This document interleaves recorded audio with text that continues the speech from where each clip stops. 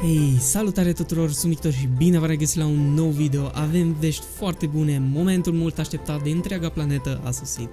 Da, vom avea în sfârșit prilejul de a juca Quidditch. Înainte să vă spun mai multe, v-aș ruga tare frumos să nu uitați să vă abonați la canal, să dați avata chedavra butonului de like, precum și clopoțelului de notificări, ca să nu pierdeți niciun video, fiindcă vor urma chestii foarte interesante. Mult frumos! Așadar, după cum spuneam, mari zei de la Warner Brothers, Portkey Games sau mai știu eu de unde ne-au ascultat rugăciunile și în sfârșit putem juca mult iubitul sport din lumea lui Harry Potter și anume Quidditch. Dacă nu știți în ce constă acest sport, totul ține de zburatul cu mătura și de a arunca o minge prin câteva inele plasate la fiecare capăt al terenului. Totuși, meciul poate fi decis și de un jucător care poate să prindă acea mică bilă de aur cu aripioare, acel Golden Snitch.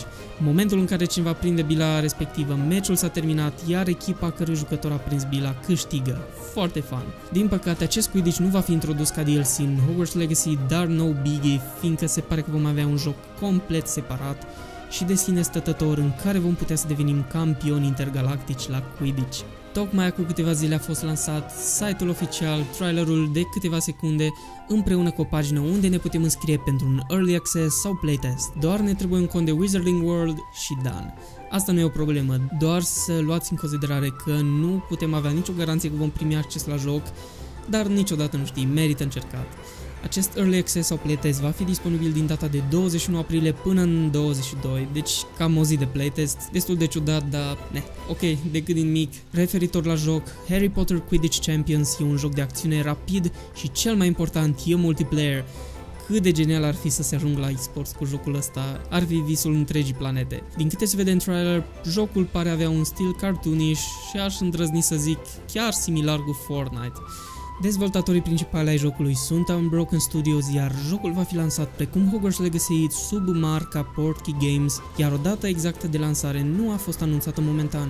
Am mai și văzut într-un articol că jocul acesta a fost în lucru de mai mulți ani, vă dați seama, mi-e chiar greu să înțeleg cum pot fi ținute așa bine în secret lucruri de genul, dar da, Good job oamenilor tăcuți. Jocul ci că e în lucru pentru PC și console, nu știm exact ce console momentan. Jocul va fi complet online, deci vom avea nevoie de o conexiune la internet pentru a putea juca. De asemenea, e absolut sigur că vom putea juca cu prietenii, vom putea face echipă cu prieteni sau cu alți jucători online sau putem juca până și solo. Destul de greu, nu prea înțeleg cum ai putea să joci un meci de Quidditch singur, dar să zicem.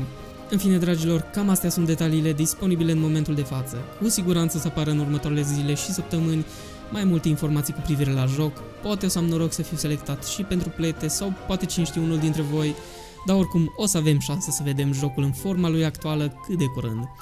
Bine, vă mulțumesc frumos că v-ați uitat, nu uitați să vă abonați la canalul meu, să dați un avada de la butonului de like, fiindcă apreciez enorm, și clopoțelul de notificări să primească un flipendo din partea voastră. Mulțumesc frumos și rămâneți aproape că o să fie fan. Take care și bye bye!